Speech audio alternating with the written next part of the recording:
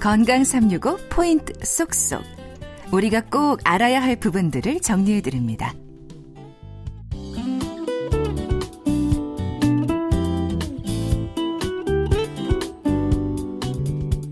건강 365 박광식의 건강 이야기 오늘은 고혈압에 대해서 알아봅니다. 연세대 강남세브란스병원 심장내과 민필기 교수와 함께 하는데요.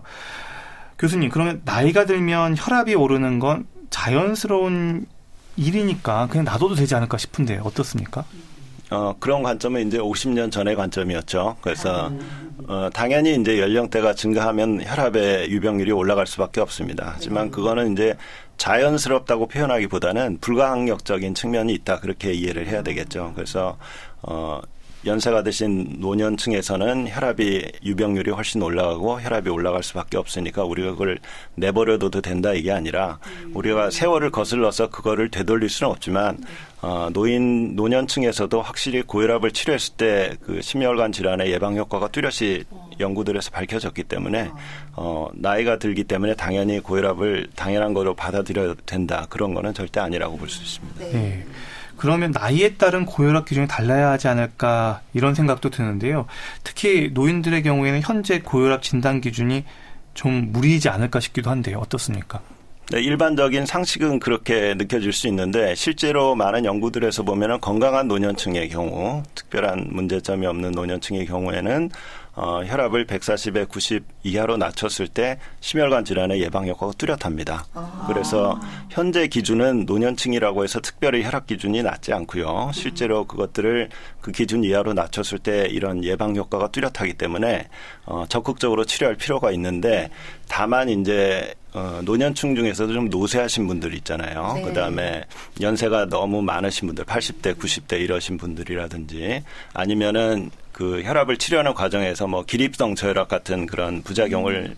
경험하신 분들의 경우에는 저희가 조금 주의해서 혈압을 조절할 필요가 있지만 그렇지 않은 문제가 없는 건강한 노년층에서는 보통의 기준에 맞춰서 적극적으로 치료해야 된다 그렇게 말씀드리고 싶습니다. 아, 네.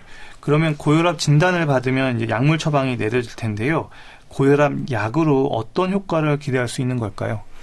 어, 고혈압이 뭐 이 원인이 뚜렷이 밝혀져 있지 않지만 일반적으로 우리가 뭐 혈관의 저항성이 증가했다든지 아니면 체액이 증가했다든지 이런 여러 가지 상황에 의해서 고혈압이 유발되기 때문에 치료는 마찬가지로 그 상황을 해결하는 치료들이거든요. 그래서 고혈압에 도움이 되는 약제가 여러 가지가 있습니다만은 뭐 혈관을 확장시키다든지 아니면은 체액의 양을 감소시킨다든지 그런 식의 그다음에 심장의 수축력이나 박동을 감소시킨다든지 하는 그런 여러 가지 기전을 통해서 혈압을 조절을 하고 있습니다. 있습니다. 음.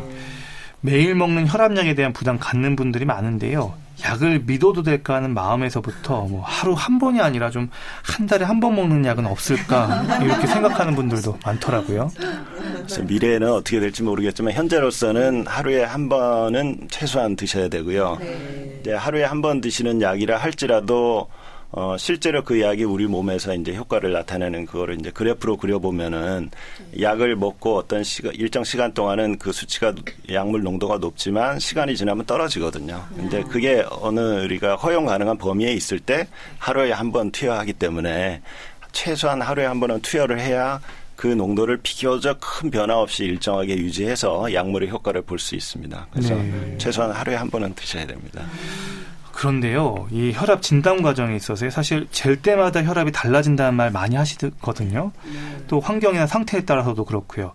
그래서 진단을 위해서 측정하는 이 혈압, 이 한두 번 재봐가지고 혈압, 약물 복용을 결정한다는 게 좀 무리일 수도 있지 않나 싶어요. 네, 맞습니다. 그래서 제가 그 외래를 오셔서 고혈압을 어, 호소하시는 분들을 실제로 치료할 때도 제가 처음 뵌 분들을 그날 혈압을 재봐서 혈압약을 처방하지는 않습니다. 그래서 우리가 재는 혈압에는 이제 진료실 혈압, 병원에 와서 재는 혈압이 대표적이겠고 그게 아니면은 기계를 차고 하루 생활하면서 재는 일상생활 혈압 그런 것들이 있겠고 또 하나는 이제 가정에서 직접 혈압을 체크해 보는 방법들이 있는데 하여튼 그런 여러 가지 방법들을 통해서 평균 혈압 수치가 높을 때 아니면은 실제로 뭐 가정혈압이라든지 생활혈압은 안 했지만 이미 오래전부터 본인이 진료실 혈압이 높다는 걸 알고 계신 분들이 있거든요. 네. 그런 분들은 알면서도 치료를 안 해오신 분들, 그런 분들 같은 경우는 뵙는 그날 약을 처방하는 경우가 있는데 그렇지 않으면 대개 이런 여러 가지 혈압 측정 방법을 통해서 평균 혈압이 높다고 확인이 됐을 때, 어, 그 기준에 따라서, 어, 약물 치료를 여부를 결정을 하게 됩니다. 음, 듣고 보니까 가정 혈압의 필요성과 중요성, 어, 강조돼야 될 것 같은데요. 얘기 부탁드립니다.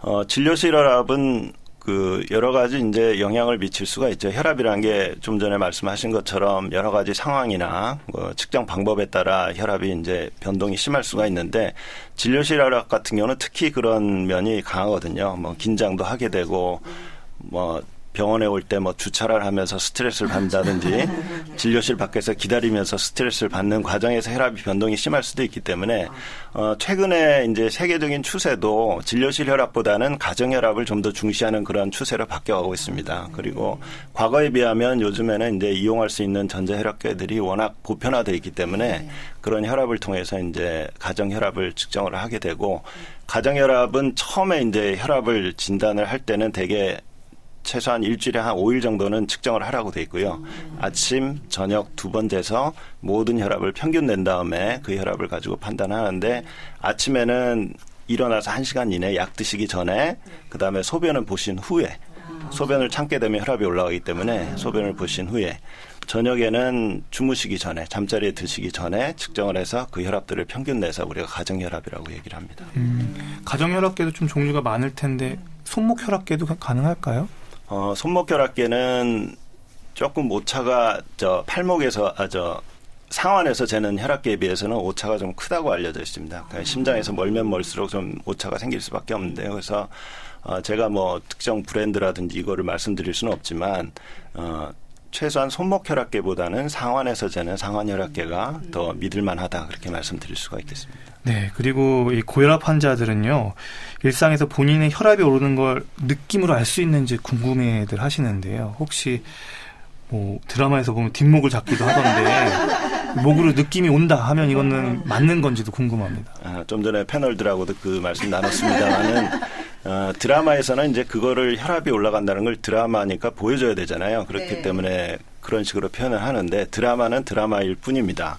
음. 실제로 고혈압은 어, 서두에 말씀드린 것처럼 침묵의 살인자라고 알려져 있잖아요. 아무런 증상이 없습니다. 그래서 일부 예민하신 분들이나 아니면 혈압이 갑자기 급격하게 빠른 시간 내에 올라가는 경우 아니면 그 변동폭이 아주 클 경우에는 그런 변화를 뭐 두통이라든지 뒷목의 뻣뻣함으로 느끼는 분들이 간혹 있을 수는 있는데 대부분의 경우에는 그런 거는 혈압하고 무관한 증상일 경우 많고요. 또 뒷목이 아파서 병원에 갔더니 혈압이 높더라. 그러니까 나는 혈압이 올라서 이런 증상이 생겼다. 이렇게 생각하시는 분도 있는데 그런 분들조차도 사실은 어떤 통증 때문에 2차적으로 혈압이 올라가는 경우 많거든요. 우리 몸에 통증이 있으면 혈압이 올라가니까요. 그래서 그런 혈압에 나타날 수반되는 그런 증상들이 나타나는 거는 거의 드문 현상이기 때문에 그 증상에 의존해서 본인의 혈압을 진단하고 판단하는 건 굉장히 위험한 생각이라고 할 수가 있겠습니다. 네, 위험한 생각입니다. 어, 그리고 이제 고혈압을 진단 받았는데 당장은 혈압약을 드셔야 되긴 하, 겠지만 본인이 금연, 체중 조절 뭐 이런 걸 통해서 좀 덜 짜게 먹는 방법을 통해서 하고 싶다. 생활요법을 먼저 하고 싶다 할 때 이 관이 생활요법이 어느 정도 혈압을 낮춰주는 효과가 있는지도 궁금하고요. 어, 어떨 때 공부를 하시는지 질문 드립니다. 생활요법에는 뭐 말씀하신 것처럼 뭐 그 싱겁게 드시는 그런 저염식 식사 습관 그 다음에 그 운동을 한다든지 체중을 줄인다든지 체중 조절을 한다든지 그다음에 금연을 하고 금주를 하는 여러 가지 이제 생활들의 습관의 변화를 얘기할 수 있는데 이런 것들이 굉장히 도움이 됩니다. 그러니까 음. 이런 것들은 혈압을 조절하는 데도 도움이 되고 지금 정상 혈압이나 혈압 전 단계라 하더라도 이런 것들을 고혈압으로 진행하는 것을 막을 수 있는 예방할 수 있는 중요한 조치가 되거든요. 그래서 이런 것들이 실제로 이제 그 데이터를 보면은 적게는 한1 정도에서 많게는 한 10, 까지도 혈압을 감소시키는 것으로 알려져 있습니다. 수축기 혈압을. 그래서 효과가 있는데 지금 말씀드린 것처럼 최대한 잡았을 때 한 수축 결합을 한 10 정도 감소시킨다고 보면은 대개 1차 어, 1기 한 140에 90 전후에 되는 혈압에 있어서는 이 생활요법만으로 충분히 조절이 가능하거든요. 음. 하지만 돌려서 생각해 보면 그 이상 되는 150, 160 넘어가는 아주 심한 혈압의 경우에는 이 생활요법만 가지고는 충분히 조절이 안 된다. 그런 점도 염두에 두는 것이 좋을 것 같습니다. 네, 오늘 고혈압에 대한 질문 답변 들어봤습니다.